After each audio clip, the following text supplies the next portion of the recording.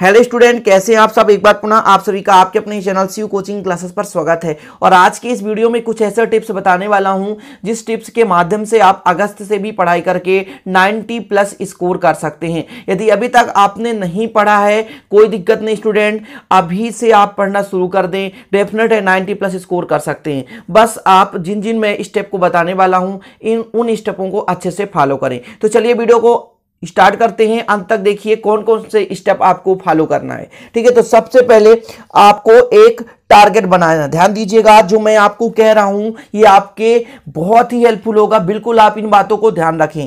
तो सबसे पहले आपको टारगेट, यानी लक्ष्य मतलब बनाना है कि आपको कितना स्कोर करना है। 90 परसेंट लाना है या 95 परसेंट लाना है या 80 परसेंट लाना है। तो आपका सबसे बड़ा एम होता है है ना? गोल होता है स्टेटमेंट होता है कि हमको ये करना है। अब ये आप सोचोगे कि मुझे ट्वेल्थ में पास आउट होना है तो ये कभी नहीं कर सकते हो। आप अपने अंदर में सपने सजाओ कि मुझे इतने परसेंटेज लाना है। अपने माँ बाप का नाम रोशन करना। है यदि आप गरीब घर से हो तो मुझे कुछ दिखाना है। ठीक है, या आप किसी भी परिवार से हो, अपने माँ बाप की इज़्ज़त को ऊँचा करना है। तो ऐसा कुछ अपने अंदर गोल लाओ स्टेटमेंट बनाओ, है ना, अपने अंदर हौसला जगाओ, अपने अंदर चेतना को बाहर लाओ, ठीक है? और अपना टारगेट बना लो। अभी से अंदर से खून खोलना चाहिए कि मुझे 90 प्लस होना चाहिए। हमेशा यदि आपको ये टारगेट भूल जाता है तो सोते वक्त हमेशा याद कर लो कि मैं 90 परसेंट की टारगेट रखा हूँ, इसके हिसाब से मुझे पढ़ाई करना है। या कि आप एक कागज़ पे लगा करके सीधा चिपका लो जहाँ पे सोते हो। मुझे नाइनटी लाना है। जब हर वक्त यदि आप नाइनटी देखोगे ना तो उसके हिसाब से आप पढ़ाई करना शुरू कर दोगे। तो सबसे पहला जो आपका टारगेट पॉइंट होता है, वो नाइनटी प्लस परसेंट।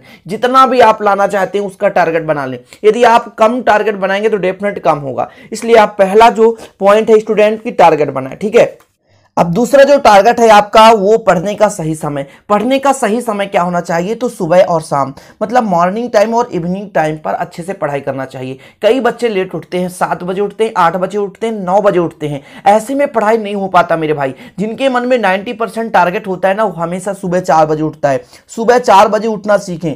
सुबह चार बजे उठें और सोना है तो दस बजे आप शाम को सो जाएँ। और चार बजे उठें। चार बजे उठ करके भी यदि दस से पंद्रह मिनट आप फ्रेश हों, ब्रश करें। इस इसके बाद पढ़ने बैठ जाएँ, क्योंकि सुबह का वक्त बिल्कुल शांत माहौल होता है, और जो भी पढ़ते हैं ना तो आपके सीधा माइंड में चला जाता है। इसलिए बिल्कुल सुबह का टाइम बिल्कुल परफेक्ट समझें, यदि आप ज़्यादा नहीं पढ़ पा रहे हो, लेकिन दो घंटे भी पढ़ते हो, लेकिन सुबह ज़रूर पढ़ो। और आपको सबसे बड़ा चीज़ ये है कि डेली रूटीन होना चाहिए, डेली रूटीन। यदि आप डेली नहीं कर पा रहे ना तो आप फिर कोई मतलब का नहीं है कि एक दिन आप पंद्रह घंटे पढ़ लिए, लेकिन तीन दिन लगातार आप बिल्कुल सोने लग गए तो फिर आपका पढ़ने का कोई मतलब नहीं है। चाहे तीन घंटे या पाँच घंटे पढ़ो स्टूडेंट, लेकिन डेली आपको पढ़ना, ठीक है?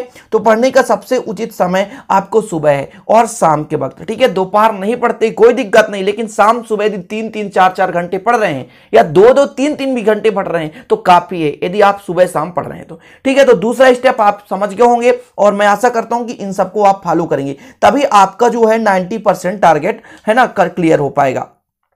तीसरा आपका पॉइंट है लिखावट पर ध्यान दें, ठीक है ना? लिखावट पर ध्यान दें आपका तीसरा पॉइंट है लिखावट पर। आप लोग कोशिश करते हैं पढ़ने के लिए और सोचते हैं कि केवल पढ़कर याद हो जाए। लिखना ना पड़े, ध्यान दीजिएगा स्टूडेंट। आप जो भी पढ़ते हैं, उसको उतना पॉइंट क्लियर करके लिख लिया करें नोट्स बनाएँ। सबसे बड़ी भूल स्टूडेंटों की होती है नोट्स में। नोट्स कोई नहीं बनाना चाहता है। नोट्स कोई नहीं बनाना चाहता, बस यही सोचते हमने वीडियो देखा, हमने पढ़ाई किया, हमसे बस बच जाएगा। ये नोट्स यदि नहीं बना रहता, फिर लास्ट में आपको दिक्कत होती है। क्योंकि लास्ट टाइम पेपर के टाइम में आपको केवल नोट्स ही काम में आता है। इसलिए नोट्स बनाए, ठीक है? और लिखावट पर विशेष ध्यान दें, क्योंकि पाँच परसेंट जो है आपका लिखावट मान्य रखता है। यदि आपकी अच्छी राइटिंग नहीं आ रही है तो पाँच परसेंट आप मार खा जाएँगे अपने लाइफ से। आपका स्टूडेंट दोस्त जो है पाँच परसेंट आगे चला जाएगा, जिसका राइटिंग अच्छा होगा। तो आपको यदि नाइनटी टारगेट है आपका तो राइटिंग पर विशेष ध्यान दें। मतलब लिखावट पर विशेष ध्यान दें। ऑटोमेटिक आपका लिखावट सुधर जाएगा, यदि आप जितना पढ़ते हैं, उतना विशेष तौर से लिख लिया करें। क्लियर तो इन चीज़ों को आप विशेष तौर से ध्यान दें। तो तीसरा स्टेप आपका कंप्लीट हो गया। चौथा स्टेप जो है आपका, सभी विषयों पर ध्यान दें। ध्यान देना, डेली पढ़ना है, चाहे आप एक एक घंटे प्रत्येक विषय को पढ़ें, लेकिन सभी विषय को पढ़ें। अब कुछ लोग स्टूडेंट क्या करते हैं, फिजिक्स, केमिस्ट्री, मैथ्स या बायोलॉजी, पर इन्होंने कहा, भैया, इसको तीन तीन दो दो घंटे पढ़ लेते हैं। हिंदी, इंग्लिश बहुत ही सरल है और बाद में पढ़ लेंगे। और बाद में वही हिंदी, इंग्लिश में आप लोग क्या करते हैं, कम मार्क्स पा जाते हैं और जिससे आपका परसेंटेज घट जाता है। तो आप लोगों को फिजिक्स, केमिस्ट्री, मैथ्स या बायोलॉजी के साथ साथ हिंदी, इंग्लिश को भी अभी से तैयार करते चलना है। डेली पढ़ें, चाहे आप एक चैप्टर पढ़ें, चाहे दो क्वेश्चन पढ़ें, चाहे आप एक घंटे पढ़ें, लेकिन डेली पढ़ें। डेली पढ़ने से क्या रूटीन बना रहता है? तो हर सब्जेक्ट को, हर सब्जेक्ट को डेली पढ़ना, ध्यान दीजिएगा। और जो भी पढ़ना है, उसको बेहतरीन नोट्स बनाते चलना, लिखते चलना है। क्योंकि आप यदि नोट्स बनाएँगे तो बाद में काम आएगा। अब एक और स्टेप मैं आपको पांचवा स्टेप बताता हूँ जो सबसे इंपॉर्टेंट स्टेप है।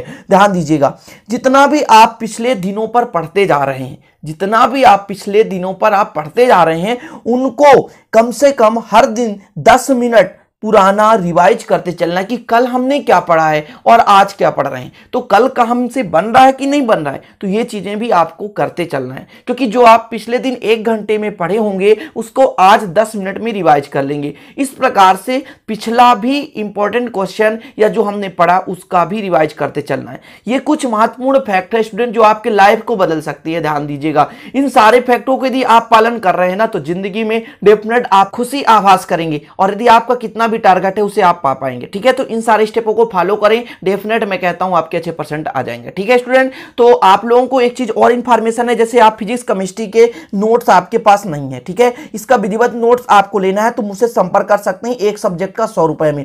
अभी सौ रुपए में मैं इतना लो कॉस्ट दे रहा हूँ। एक सब्जेक्ट का लगभग पाँच पेज का पीडीएफ रहेगा। हर चैप्टर के अलग अलग पीडीएफ में दे रहा हूँ आपको। हर चैप्टर के अलग अलग पीडीएफ हाँ उन पीडीएफ में जो आपको प्रॉब्लम होगी, जो उनमें मिस्टेक होगा, जो गलती होगी आप स्क्रीन भेजना। जो भी आपको दिक्कत होगी, मैं उसको सॉल्व करके भेजूँगा। ये मैं वादा करता हूँ। जो नोट्स लेता हूँ, उनकी बात कर रहा हूँ।